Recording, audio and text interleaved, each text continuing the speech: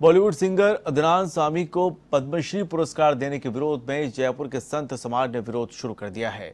इसी के तहत रघुनाथ धाम, रामानुज आश्रम के सौरभ राघवेंद्र महाराज ने पत्रकारों से बातचीत में आरोप लगाया कि अदनान सामी के पिताजी ने भारत के खिलाफ पाकिस्तान की ओर से उन्नीस सौ पैंसठ में युद्ध लड़ा था।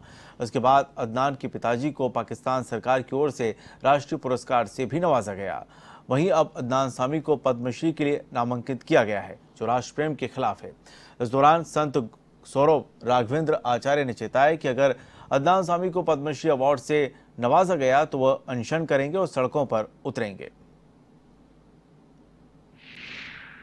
अदनाम सामी, बॉलीवुड सिंगर एक, जिसने मुश्किल से 10-20 गाने गाए और उसको भारत सरकार की ओर से पद्मश्री अवार्ड से सम्मानित किया जा रहा है। उसको पद्मश्री अवार्ड देने के लिए नॉमिनेट किया गया। जिसका बाप आतंकवादी, हमने आतंकवादी की संज्ञा इसलिए दी 1965 में, जिसके पिताजी ने पाकिस्तान की ओर से हमारे भारत देश पे हमले किए। और आज उसको छह वर्ष बीते हैं अदनाम स्वामी को भारत की नागरिकता लिए हुए। और वो अदनाम स्वामी, जिसको अभी मूल रूप से भारत की